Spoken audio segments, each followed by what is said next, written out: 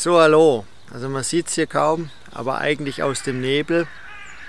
Die Woche war wettertechnisch eigentlich ganz interessant. Ne? Wir hatten ähm, am äh, Mittwoch, Donnerstag äh, 15 Grad und äh, Sonnenschein, also richtig äh, cooles äh, Bienenflugwetter.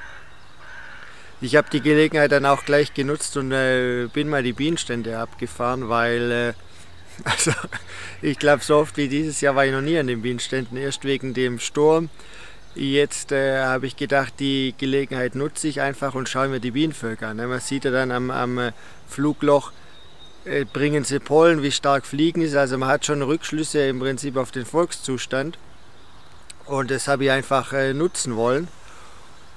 War super interessant. Also ich muss sagen, die Bienenvölker, denke ich mal, sehen eigentlich alle durchweg äh, ganz gut aus.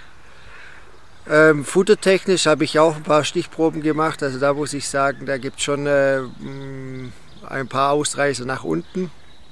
Also da werde ich äh, die nächste Schönwetterperiode nochmal nutzen oder die übernächste. Also kommt darauf an, wann das ist, ähm, um, äh, um da ein paar Waben umzuhängen. Aber in allem allem sieht es äh, wirklich gut aus. Also kein Grund äh, zur Beanstandung.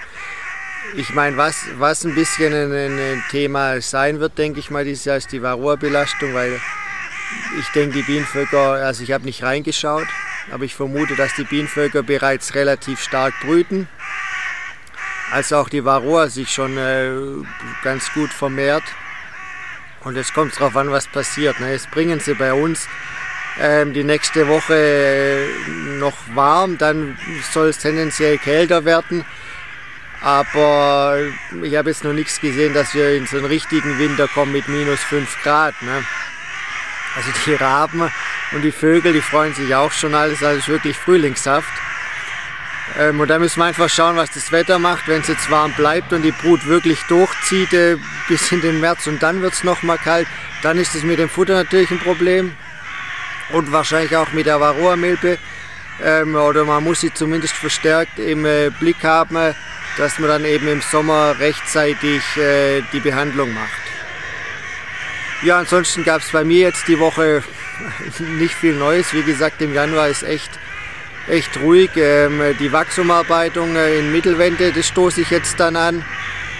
Aber ja, sonst mache ich ein paar kleinere private Projekte und sonst gibt es eigentlich gerade wirklich an den Bienen in dem Gerei nichts zu tun. Honig habe ich abgefüllt, da kann ich auch mal noch ein Video davon machen.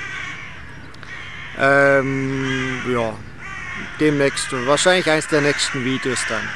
Also, bis dahin viel Spaß und wenn es euch gefällt, abonniert meinen Kanal gerne und Fragen gerne unten in die Kommentare und ich beantworte sie dann wieder. Ja, tschüss, ade, bis dann.